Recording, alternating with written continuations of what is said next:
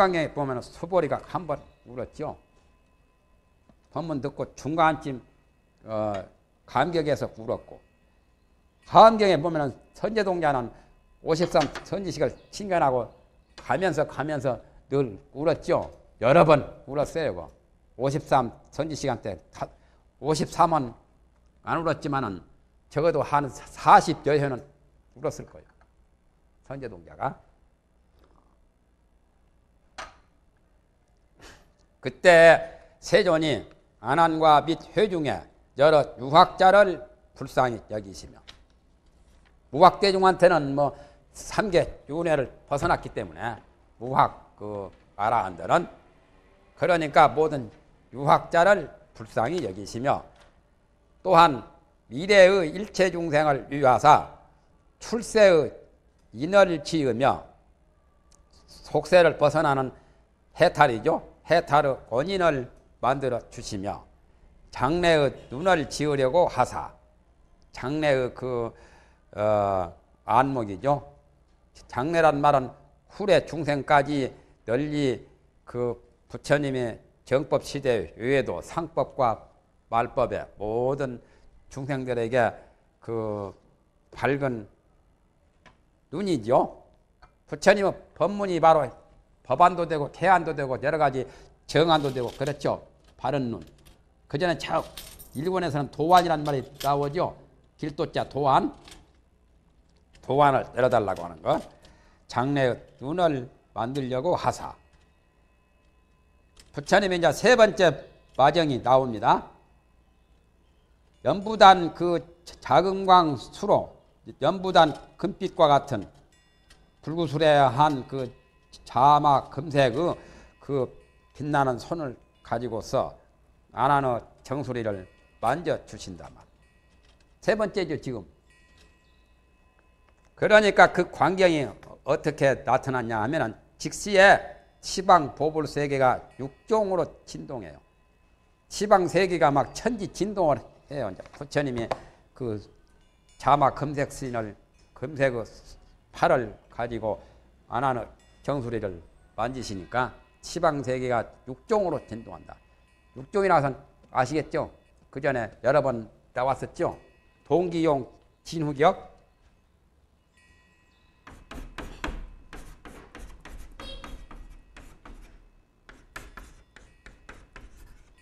가만히 있으면 별로 의미가 없죠. 여러 가지 그 소리가 나야 좀 뭐 하는 것 같지 않아요? 그래서 이것도 육종진동이 뭐 하는 것 빛깔로 소리로 나타나요.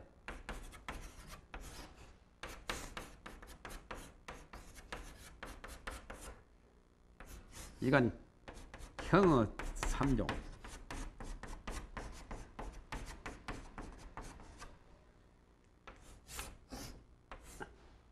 이건 소리의 세 가지.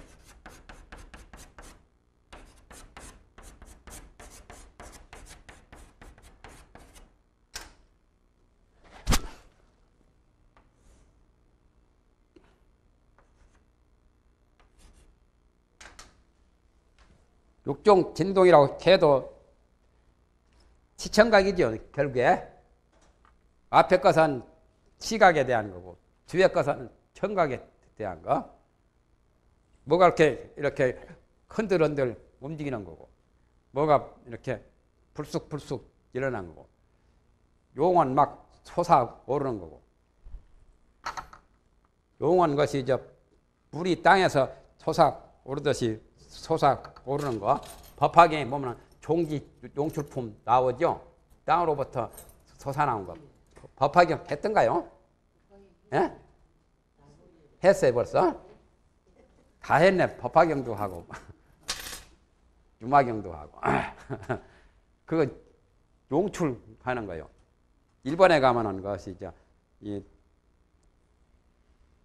보글보글 것이 깨골이 뭐 소리 나듯이 하얀 그 우유빛깔처럼 땅에서 그 저 온천수가 막 보글보글 일어나요. 그런 게 용이고 지는 막 여성같이 벼락 천둥 소리처럼 진동하는 거. 후는 사자나 번이나 곰 같은 것이 소리를 빽 보암치는 거. 우는 소리죠. 동물들, 큰 동물들이 우는 소리 같은 거. 이것은 폭격 같은 거, 뭐가 돌과 돌이 그냥 부딪혀서 와지끈 해서 두닥탕 하니 막, 막 그냥 산풍 아파트 무너진 건, 산풍 아파트 무너지는 게 격이라, 격. 지금 것이 다이나마이트로 것이 이제 뭐 고친 건물 내 것이 저 폭격해가지고 내랑께 가죠. 그런 소리 같은 게 격이요. 격포 앞바다에서 배들이 침몰한 게 그놈은 격포라고 했으니 그게 온전 하겠어요. 나갔을 때 격포에 지나왔는데 부안 것이 저 월명암 가기 전에 어, 격포 그 지나가거든요. 내소사에서 월명암 가려면 바닷가 격포라요. 격포. 이름도 더럽게 짓다고 내가 그랬지. 그때 가면서 격포가 뭐요? 그러더니 배 침몰 사고 지금 김영삼 대통령 때 육해공 대형 사고 날 때 격포에서 그 배 침몰한 거 났잖아요. 격포, 옥포 하듯이 목포 하듯이 그것도 바닷가라서 포라고 하죠. 격포가 뭐요?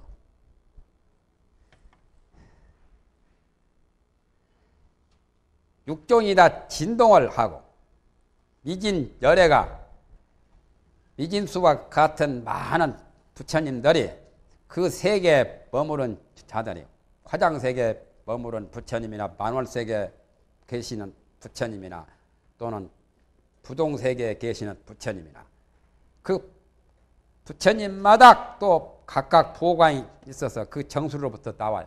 부처님은 이마에서 또 광명이 막 나오는 거예요, 이제. 육종 진동한 다음에 여기 서가열에서 이제 서가열에 부처님의 이 손으로 만안을 마정할 때 이제 그런 게 나타나요.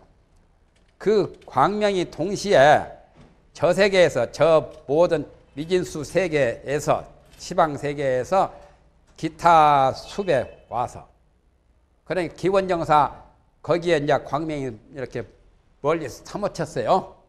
거기까지 왔어요. 그래가지고 부처님 정수리에 대했어요. 여기 열애정은 서가열에 서가열에 정수리에 이제 다 광명이 이렇게 이제 여기 뻗어서 비쳐 왔단 말이에요.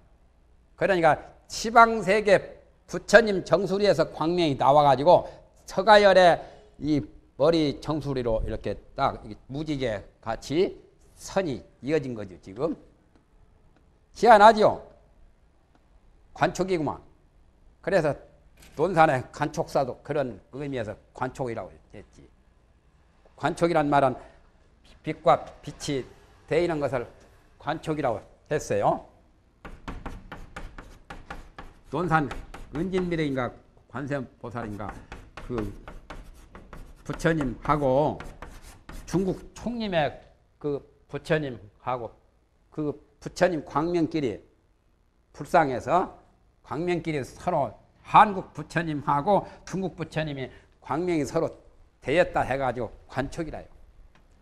관광사라고 해도 될 건데. 어? 관광사. 이 족자가 광자가 뜻이라요. 부처님 광명. 대만에 가면 불광사 절이 있죠. 여기 서울에도 광덕스님 절이 불광사죠. 그러니까 이 대중들이 이직률을 얻었느니라. 과거에 없던 사실, 그거 참 희한하잖아요. 시방세계 부처님에서 광명이 나와가지고 여기 서가열에 부처님 정수리 다 됐으니 그게 희한하잖아요. 육종이 진동하고 그것은 시방계물의 모든 그 번외의 결박을 푸는 것이 다 같다는 것을 의미한 거요. 번외의 결박은 다 육군 뿐이지 딴 것이 없다 말. 육군이라는 것은 번외의 결박의 근본도 되고 해탈을 얻는 근본도 되고 삼세 시방예부로 수행 방법도 다 육근의 결박을 푸는 데 있다는 것을 여기서 광명으로 보여주신 거요. 그러니까 이것만 알면은 척척 아는데 그걸 모르는 사람들은 이제 무슨 일인고 하고 미직류를 얻는 거지요. 알아도 미직류지 뭐. 그렇잖아요.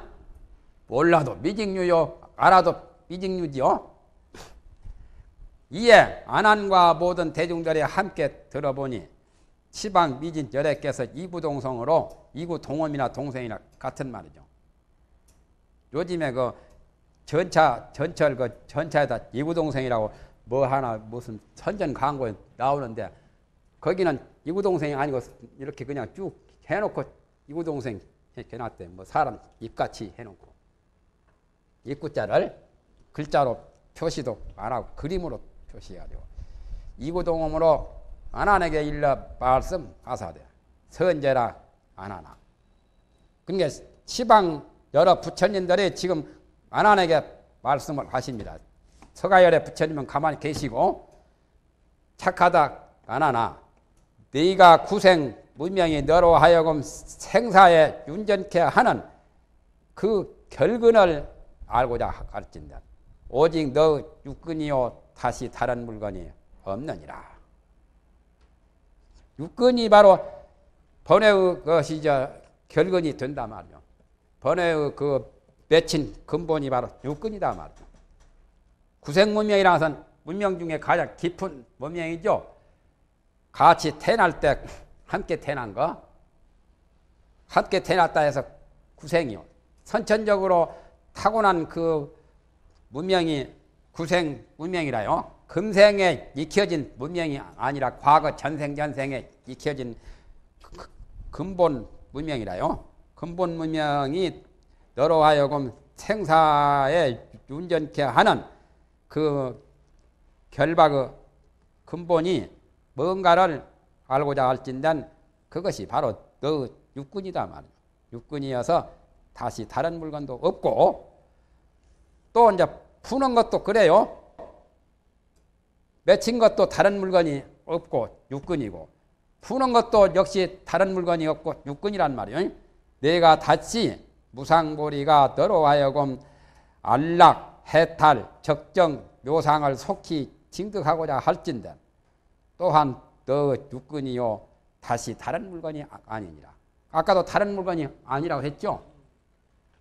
그러니까 어, 결근도 육근이고 모두 다 육근이요. 해결도 육근이고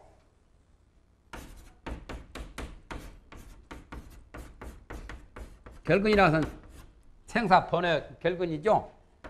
결근도 육근이고 또 해결도 육근이고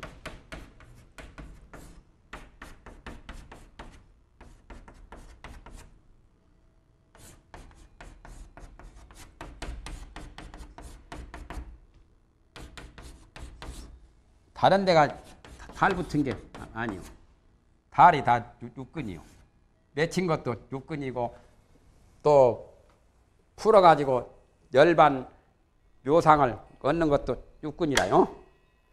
안락이라는 것은 극락보다 더한 것 가장 열반의 그, 그 자리가 안락 아니요?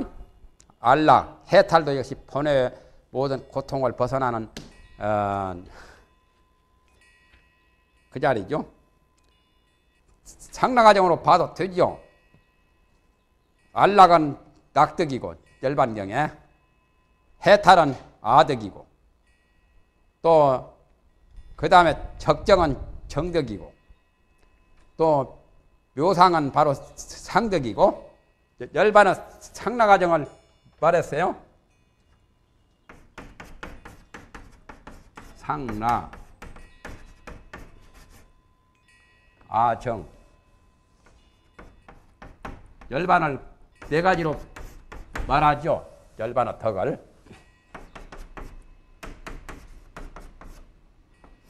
상을 여기서 뭐라 했어?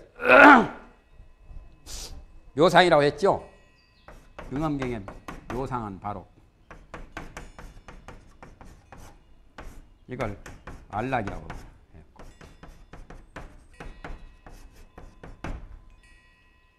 그 다음에 이제 아는 해탈이죠? 해탈이 바로 알아요.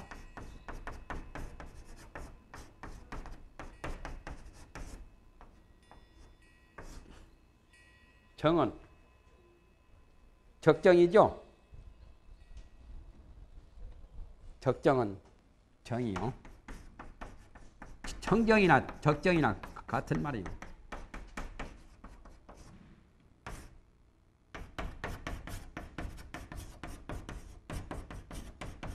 상덕이라 아니다. 낙덕이라 아니다. 열반은 사덕 가운데 이건 아덕이라 아니다.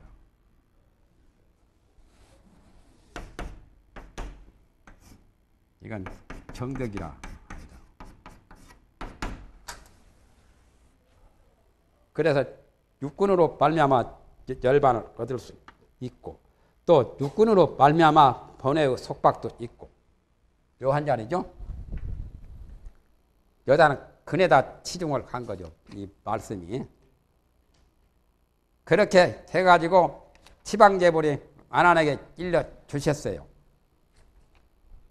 아난이 비록 그와 같은 법음을 듣기는 들으나 마음이 오히려 분명하지 못해요. 그래도 어, 명백하게 잘 모르고 있어가지고 머리를 조아리고 부처님께 고하여 빨아돼.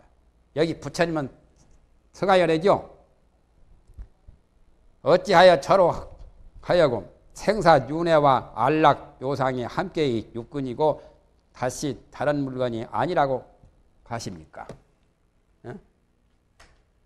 하나는 육근의 결박은 뭡니까? 생사 윤회죠.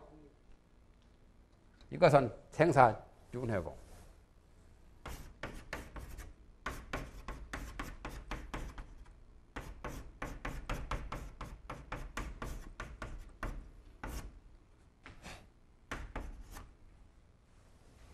이건 안락이고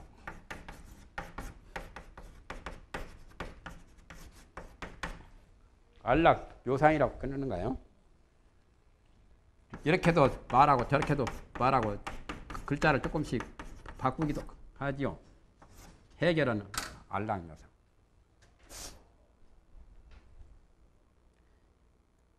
그렇게 해서 부처님께서 이제 거기에 대해서 답을 하십니다. 부처님이 안한에게 이르사대 육근과 육진이 근원이 같고 속박과 대탈이 둘이 없단 말이에요. 그러니까 우리는 육근 육진이 다른 걸로 보지요. 육근은 자기 자신으로 보고 육진은 타의 경계로 자타로 구분해서 보지만은 그게 둘이 아니다 말이죠. 근원이 같단 말이죠. 우리는 속박과 해탈이 다른 걸로 보지만은 속박과 해탈이 둘이 없어요. 유마경의 불입법문처럼. 법성 원흉 무이상이라. 모두 다 법성으로 보면은 다 법성 아닌 게 없죠. 그래서 법성이 원흉에서 두 가지 모양이 없다는 것과 같이 속박과 해탈이 다, 른것 같지만 근본이 같으니까 육군의 그 근본 자리에서 속박도 되고 또는 풀면은 해탈도 되고 그래서 박과 탈이 둘이 없다. 그만합시다. 거기까지만 하죠. 이 말을 기억에 두셔야 됩니다. 근진이 동원하고 박탈이 무기라. 또 이 해결과 결근이 다 육근이라는 거. 그것만 기억하면 돼요. 오늘 문제는 오늘 문제는 가장 기억할 것은 어, 해와 결이 모두 육군